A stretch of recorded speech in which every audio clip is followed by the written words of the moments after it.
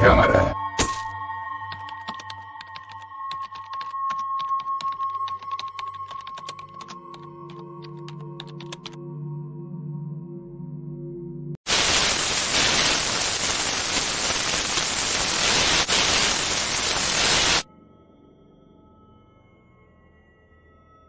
Era el cumpleaños de Kevin, el hijo de 12 años de Arturo, un fotógrafo que no le permite a su hijo usar su cámara y por cosas del trabajo, y tantas otras cosas que ocupan a los adultos hoy en día. Arturo no había tenido tiempo de comprarle un regalo a su hijo, así que salió temprano al mercado a comprar algo que Kevin siempre había querido, una cámara fotográfica, pero para desgracia de Arturo, los precios eran muy elevados, y no se podía dar el lujo de pagar una cámara muy costosa. Arturo decidió ir a un lugar en la ciudad, donde las personas no les gustaba mucho ir, ya que era algo peligroso, pero también se sabía que se podía conseguir artículos, tal vez de dudosa procedencia, pero a muy buen precio, así que al llegar allí, empezó a caminar por el lugar, el cual era muy extraño, con vagabundos, y personas del mal vivir, ya se hacía tarde y Arturo pensó mejor en regresar, pero fue detenido por un hombre muy misterioso, algo andrajoso, pero de buenos modales. Buenas tardes señor Arturo, ¿qué lo trae por estos lugares? Hola, oiga, lo conozco, ¿cómo sabe mi nombre? respondió Arturo.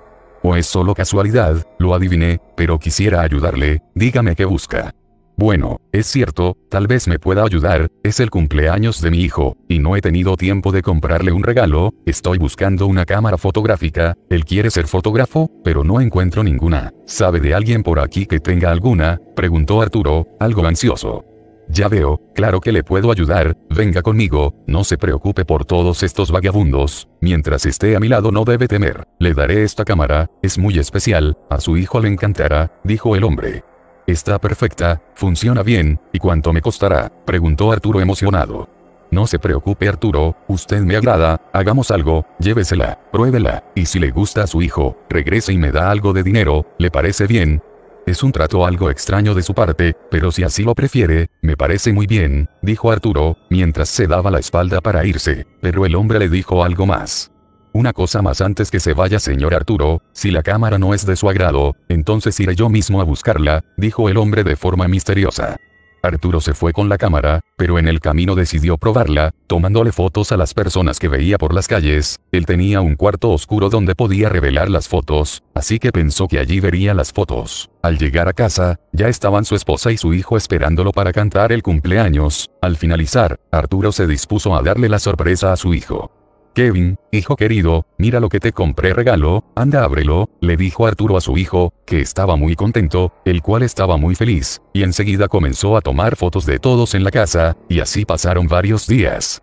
Hasta que una noche, Arturo veía las noticias en la televisión, y hablaban de una serie de asesinatos que se estaban dando, ya habían muerto varias personas, en el periodo de unos cuantos días, era algo que no era común en el área. Al momento de dar información de algunas de las víctimas, Arturo creyó reconocer algunas de ellas, como las personas que él había fotografiado cuando probaba la cámara, lo que le hizo comentarle a su esposa de que él había visto a esas personas antes de ser asesinadas, y que las tenía en la cámara. Pero al ver que más y más personas seguían muriendo, decidió por curiosidad, ir a su cuarto oscuro, y finalmente revelar las fotos que había tomado ese día. Al ir revelando las fotos, Arturo quedó petrificado, al ver que las personas que ese día fotografió, caminando o conversando por la calle, aparecían muertas y descuartizadas en las fotos, exactamente como estaban apareciendo en las noticias. Él no comprendía cómo era posible, pero lo peor fue que, en cada foto, aparecía el misterioso hombre bañado en sangre de las víctimas, con unos ojos rojos y brillantes mirando fijamente a Arturo a través de las fotos. Era como si todo aquel que era fotografiado por esa cámara, estaba sentenciado a morir por este, hombre, la cámara estaba proyectando la futura muerte del fotografiado.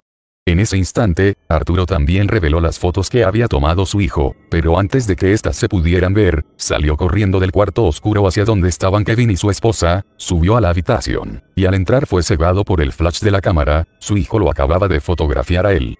Kevin, dame esa cámara inmediatamente hijo, debo destruirla, le tomaste foto a tu madre, gritaba desesperado Arturo. ¿Qué te pasa querido? Sí, nos hemos estado tomando fotos aquí en la habitación, ¿por qué qué tiene de malo? respondió su esposa. Arturo visiblemente perturbado le arrebató la cámara a su hijo, y cuando estaba a punto de tirarla contra el suelo, se escuchó que alguien tocaba la puerta. No sé qué te pasa cariño, pero has asustado a Kevin, iré con él abajo a ver quién llegó, tú quédate aquí y cálmate un poco, le dijo la esposa, Pero Arturo, tenía un mal presentimiento de quién podía ser, y estaba tan asustado, que no pudo mover un músculo para detener a su esposa, para que no abriera esa puerta, pero lo que sí pudo escuchar, fueron los gritos de su esposa e hijo, mientras eran atacados y desmembrados, por algún tipo de animal extraño, o eso parecía, luego de un silencio, Arturo seguía arriba sin moverse, y alguien desde abajo le dijo, Señor Arturo, buenas noches, disculpe que llegue de esta forma, pero veo que no le ha gustado mi cámara, así que como le dije ese día, he venido a buscarla, no tiene que bajar a recibirme, ya su esposa y su hijo lo hicieron, yo subiré a saludarlo enseguida. Mientras lentamente se escuchaban los pasos del hombre subiendo las escaleras, en el cuarto oscuro, se revelaban las fotos, donde aparecían Kevin y su madre, descuartizados en la sala de la casa, y Arturo despedazado en la habitación de arriba, y claro, un hombre de ojos rojos brillantes, junto a los cadáveres.